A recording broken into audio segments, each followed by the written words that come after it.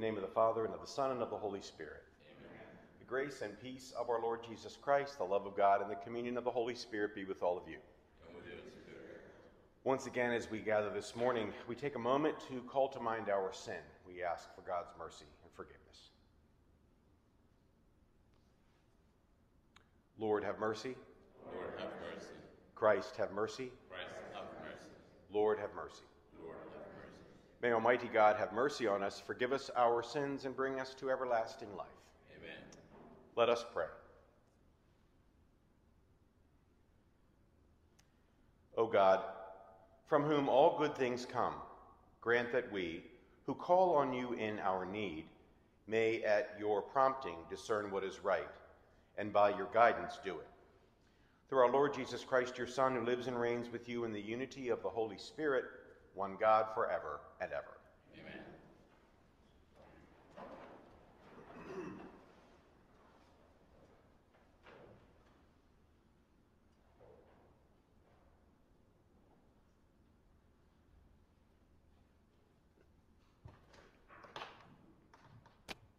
A reading from the first book of Kings. At the mountain of God, Horeb, Elijah came to a cave where he took shelter.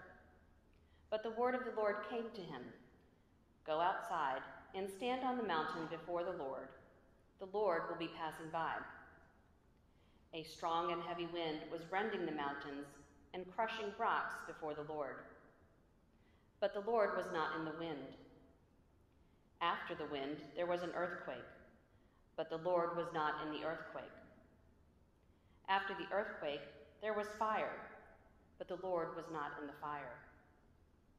After the fire, there was a tiny whispering sound.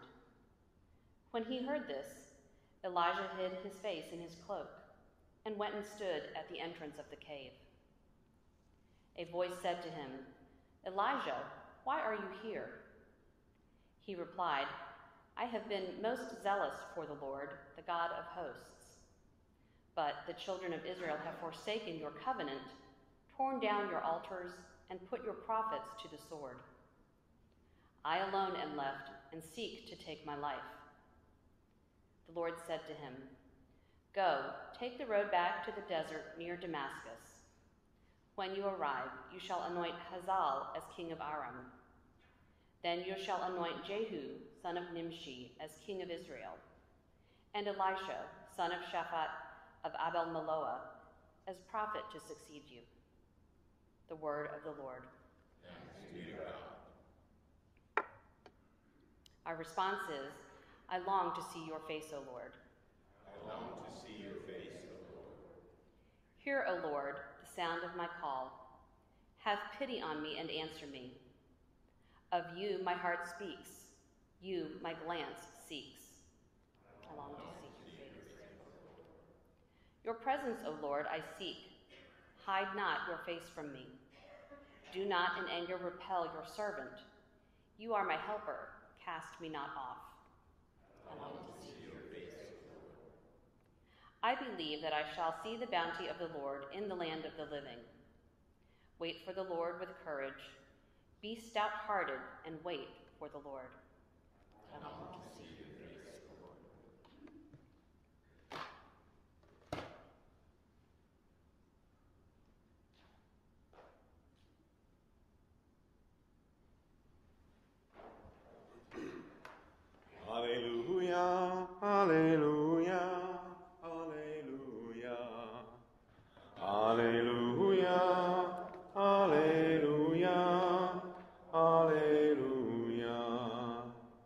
Shine like lights on the world as you hold on to the word of life. Alleluia, alleluia, alleluia.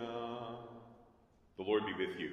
And with your spirit. A reading from the Holy Gospel according to Matthew.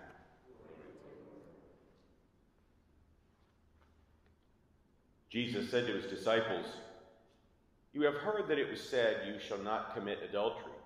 But I say to you, everyone who looks at a woman with lust has already committed adultery with her in his heart. If your eye causes you to sin, tear it out and throw it away. It is better for you to lose one of your members than to have your whole body thrown into Gehenna. And if your right hand causes you to sin, cut it off and throw it away.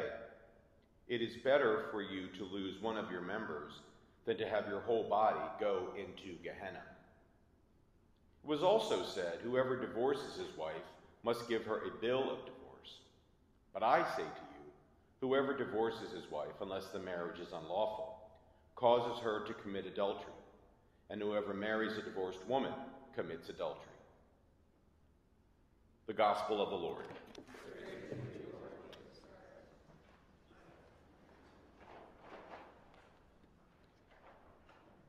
So I, when I'm talking to some of my um, Protestant friends who take the scriptures literally, and everything that's written in there is exactly the way it is, I always send them to this passage and ask them, you know, have you ever taken anything that didn't belong to you?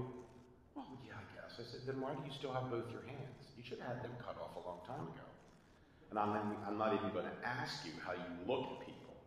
But anyway, the other thing I think, I mean, what Jesus is really getting at, I think, well, one of the things, there's lots of tons of messages in all of these passages. But, you know, when you begin to see people as objects for your own pleasure, or you begin to do things for your own well being as opposed to that of the people around you, it can become a bit of a slippery slope. So, everybody, I think there are times there's automatic reactions. You see somebody that's attractive and you might think something about them that maybe isn't, you know, totally heartfelt, let's say. But it's one thing to have that automatic reaction. It's another thing when it becomes almost an addiction, or that we begin to see people as objects of our own pleasure, of our own desire as opposed to seeing them as God creates them. And I think that's one of the big issues with the proliferation of all of the stuff on television that, and obviously pornography, that just uses people as objects for the pleasure of another person and doesn't see them as the whole person that they are created to be. And I think while those two things might not be our issue, I think we need to be careful of the things that can lead us into temptation or the old occasions of sin. One of my occasions of sin, as you all know, is behind the steering wheel. Now, I can't avoid that, and I've gotten much, much better at it. Now, the only thing I don't like, and this is where I get into the occasion, the, uh, into difficulty, is when someone is riding right on the tail of my so instead of saying what I would normally say, I put my turn signal on, I pull off to the side of the road, I let them pass me, I think terrible things about them, and then I get behind them. And I don't get up next to them. So there are times in our lives where we know there are things, whether it's drinking or whether it's eating or whether it is seeing people as objects or whatever, those are the things that we need to watch out for because those are those occasions of sin that we hardly ever think about much anymore. And so Jesus is really challenging us to know that certain things become a slippery slope, that certain things can lead us, if we allow them, down a path that is not healthy for us. All of us sin, all of us make mistakes, all of us do things that are wrong. There are so many times when we don't follow what we know is the right thing the beauty of Catholicism is that we have the opportunity for reconciliation. We have the opportunity to start over again. We have the opportunity that, God continuously opens his arms to us and says, okay, let's start it again. And I think that that's one of the blessings that we have. So if you're struggling with something, bring it to the sacrament. You know, if you're struggling with something you're not ready to sure what to, you know, give one of us a call. We'll be glad to sit down with you and talk about whatever it is that you're struggling with. And hopefully, all of us together as a community can see each other as God's creation and help each other on the journey. Please stand.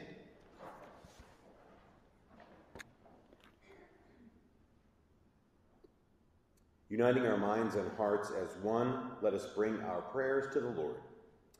For all members of the church, may God's fulfillment of the law continue to inspire greater discipleship in the world. Let us pray to the Lord.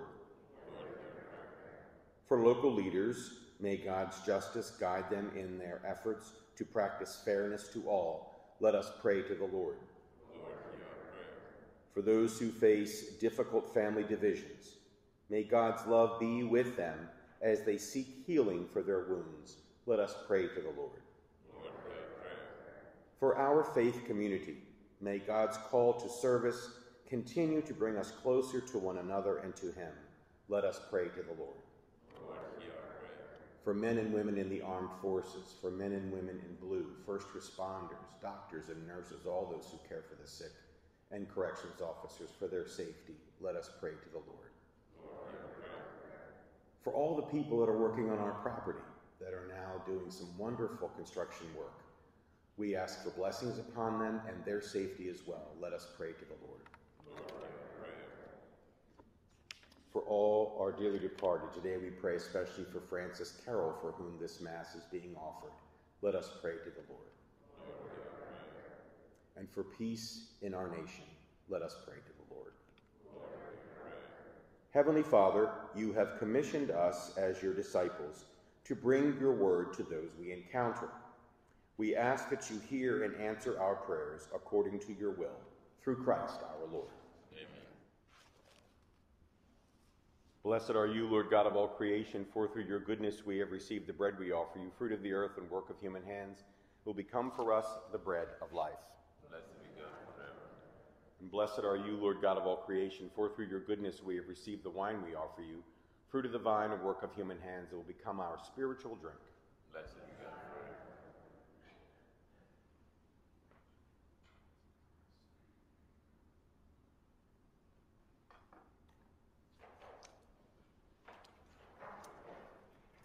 Pray, brothers and sisters, that my sacrifice and yours may be acceptable to God, the Almighty Father. And the Lord accept the sacrifice of our hands, for the praise and glory of his name, for the good and the good of his spirit. Look kindly upon our service, O Lord, we pray, that what we offer may be acceptable, an acceptable oblation to you, and lead us to grow in charity, through Christ our Lord. Amen. The Lord be with you. And with your spirit, Lift up your hearts. up to the Lord. Let us give thanks to the Lord our God. It is truly right and just, our duty and our salvation, always and everywhere to give you thanks, Lord, Holy Father, Almighty and eternal God. For just as through your beloved Son you created the human race, so also through him with great goodness you formed it anew. And so it is right that all your creatures serve you, all the redeemed praise you, and all your saints with one heart bless you. Therefore we too extol you with all the angels, as in joyful celebration we acclaim. Holy, holy, holy, Lord God of hosts. Heaven and earth are full of your glory. Hosanna in the highest. Blessed is he who comes in the name of the Lord. Hosanna in the highest.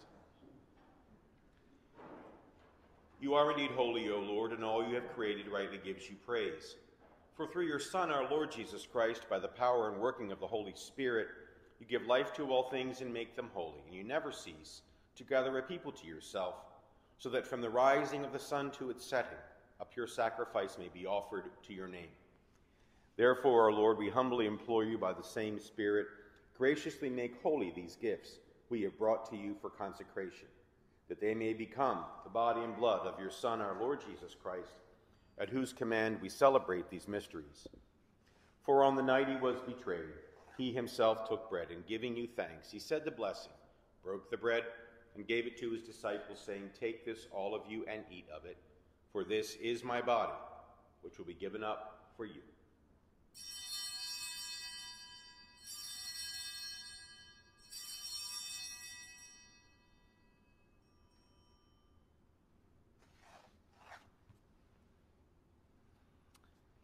In a similar way, when supper was ended, he took the chalice, and giving you thanks, he said the blessing and gave the chalice to his disciples, saying, Take this, all of you, and drink from it. For this is the chalice of my blood, the blood of the new and eternal covenant, which will be poured out for you and for many for the forgiveness of sins. Do this in memory of me.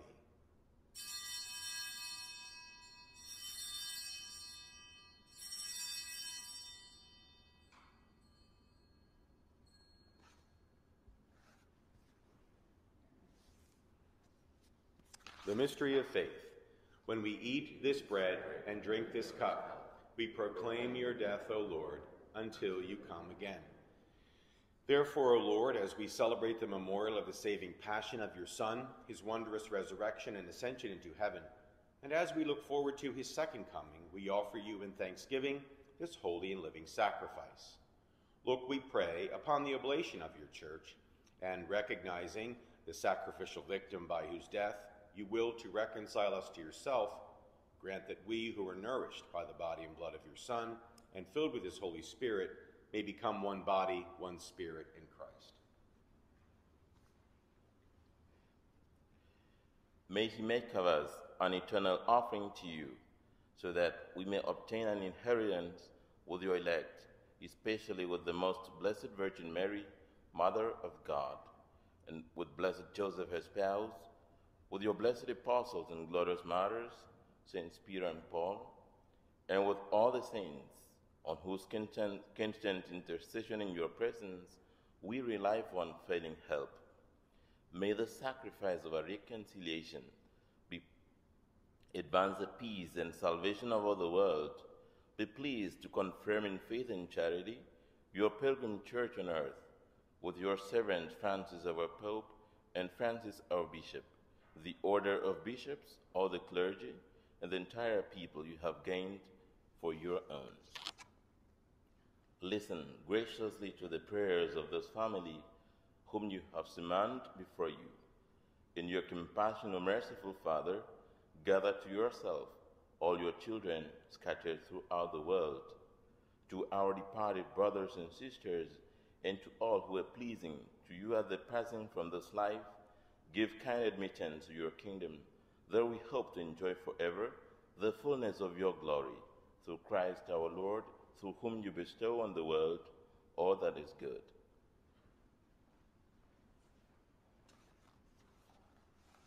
Through him and with him and in him, O God Almighty Father, in the unity of the Holy Spirit, all glory and honor is yours forever and ever. Amen.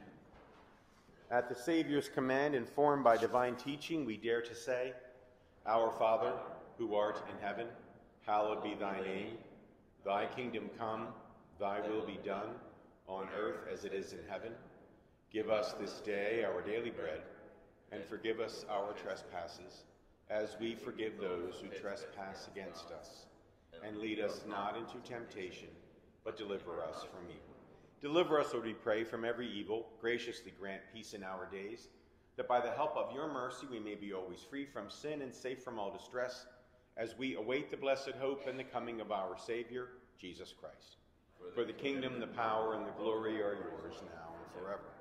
Lord Jesus Christ, who said to your apostles, Peace I leave you, my peace I give you, look not on our sins, but on the faith of your church, and graciously grant her peace and unity in accordance with your will, who live and reign forever and ever. Amen. The peace of the Lord be with you always.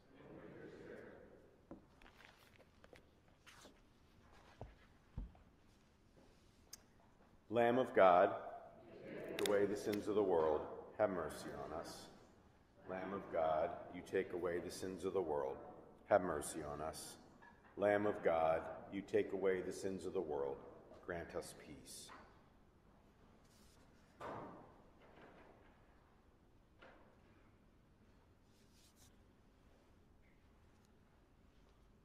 Behold the Lamb of God, behold him who takes away the sins of the world. Blessed are those called to the supper of the Lamb. Lord, I am not worthy that you should enter under my roof, but only say the word, and my soul shall be healed.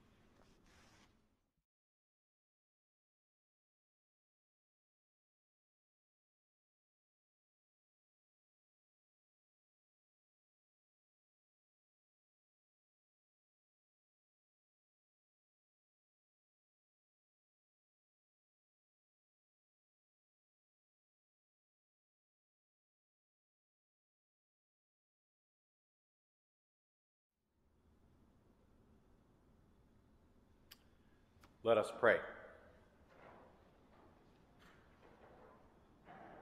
May your healing work, O Lord, free us, we pray, from doing evil and lead us to what is right through Christ our Lord. Amen.